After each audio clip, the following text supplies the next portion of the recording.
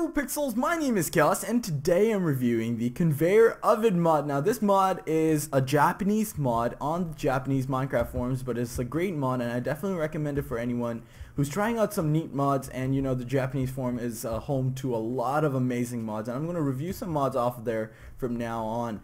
Anyways, uh, what this mod will basically do is take any kind of item that goes into a furnace and cook it along the way on this conveyor belt. Now cool thing is the conveyor belt can be used for many multi-purpose things. Uh, the cool th another cool thing is if you do have a chest at the end of the um, you know conveyor belt, all the items will go into it. So really, it's uh, it's a helpful one. And that was a complete utter fail. But anyways if you as you can see it does go into the chest. Now let's take that and I'll show you guys how to make the conveyor belt really quickly. Let's take that away. And uh, you basically need six iron ingots two redstone and one furnace. Put the furnace in the middle and just do this what I'm doing here and just make a sandwich out of the iron and put the redstone in the middle so it's like basically the topping and there you go you have the conveyor oven. Now cool thing is on when you're replacing it uh, be careful on the way you place it because if you are sideways you know it will it'll make you go sideways. So this will make us go backwards if I place it like this. It will go that way so we'll get to the middle and get stuck. Uh, I am in survival so as you can see I am breaking it with one hit. Um, so you can break it with one hit, which is really neat, but I do recommend you use a pick because you can reclaim it then, and it is pretty, you know, it is pretty um, costly to make with all the iron and uh, the, you know, redstone. If they're pretty hard to find, but uh, you know, it's a very helpful mod. You could use it for mob grinding and so many other stuff.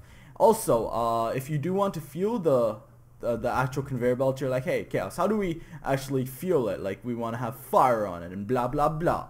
Basically what you can do is take lava or coal or charcoal, whatever can fuel a furnace you can use in this and basically as you can see it does fill up and there's a little fire animation on top which is really cool.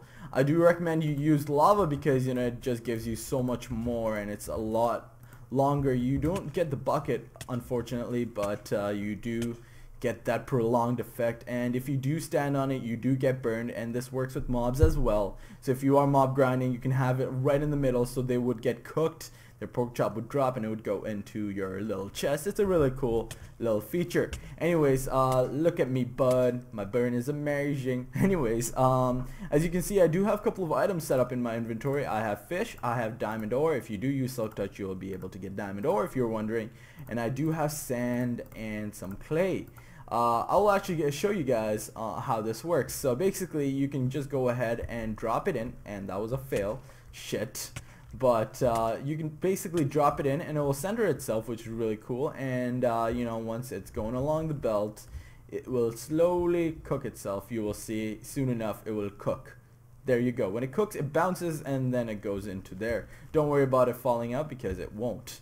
Anyways, uh, let's just drop a couple more stuff in. Sometimes it doesn't cook if you do drop it really close. So make sure you have a bit of space before you do drop it.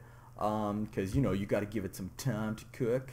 Uh, diamond and uh, iron shouldn't really take too much, so I don't think the iron cooked. So one did, but one didn't. But uh, yeah, that's that's basically the mod. It just uh, takes the item, cooks it there, the glass and the diamond, and the iron should be cooking soon um, that's that's basically it. It's a very neat mod. You do you can use dispensers. Sometimes it did go a little glitchy for me. Like when I did throw, what happened is the item fell through. So basically, it didn't cook. I had to break the conveyor belt, grab it, and then you know actually um, uh, reinsert it onto the belt, which kind of did suck. Was a disappointment for me, but disappointment.